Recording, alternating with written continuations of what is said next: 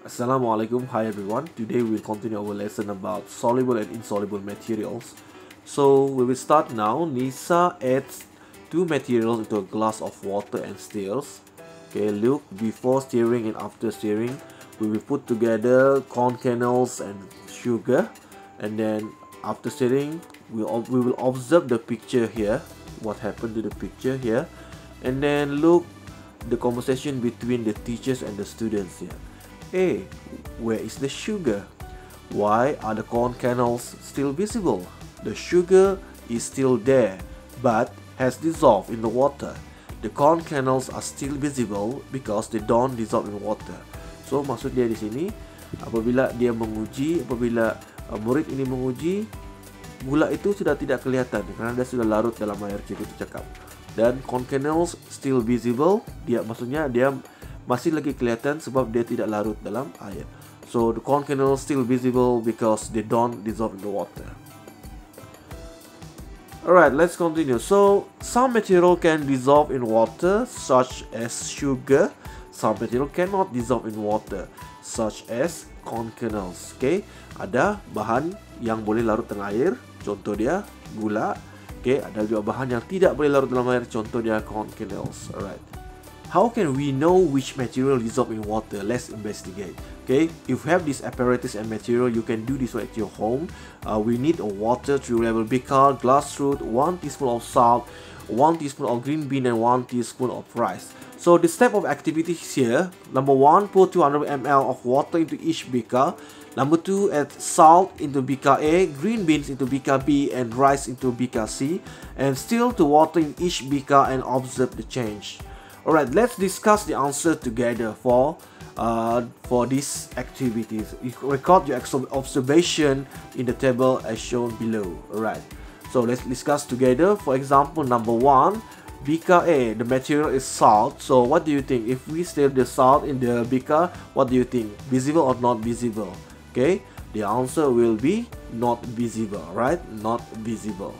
Okay, the answer will be not visible okay and B okay it is because the salt dissolved in water. So the answer will be D alright. So beaker B when we test green uh, sorry when we test a green beans here when we start the green bean the water okay visible or not visible? The answer will be the green bean will be visible okay the green bean will be visible. Alright. So the answer will be here visible okay the answer will be visible. Okay for green beans. Okay sorry. For green bean will be visible. All right here. All right visible. And the green bean will not dissolve. Okay will not dissolve in water. So the answer will be D D. Do not dissolve. All right. How about the last one beaker C for the material is rice. What do you think? Visible or not visible? The answer will be the rice will be visible in the water, alright, in the water. And so means that this one will not dissolve, okay? Do not dissolve, right? So for conclusion here, we know that salt dissolve in water, green bean and rice do not dissolve in water. Let's move on to situation number one, material that dissolve more quickly. So which water can dissolve sugar more quickly? So we will investigating the solubility sugar in hot and cold water. So the apparatus and material needs here cold water, hot water, 2 beakers, sugar, spoon and glass rods. So this is the step, pour 200 ml of cold water into beaker A and 200 ml of hot water in beaker B. Number 2, add 1 teaspoon of sugar into each beaker. Number 3. Stir the water in both beakers at the same time. So observe the sugar in beaker A and beaker B which dissolves first. Record the observation. Actually, material that dissolve more quickly in hot water than cold water. Okay, bahan-bahan sebenarnya lebih mudah melarut di dalam air yang lebih panas berbanding air yang lebih sejuk. Situation number two, why is the tea still not sweet even after sugar had been added? So let's investigating the solubility of sugar through stirring. Apparatus and materials needs here, we need water, 2 beaker, coarse sugar, glass fruit, and also spoon. So this is the step of the activity. Number one, pour 200 ml of water into each beaker.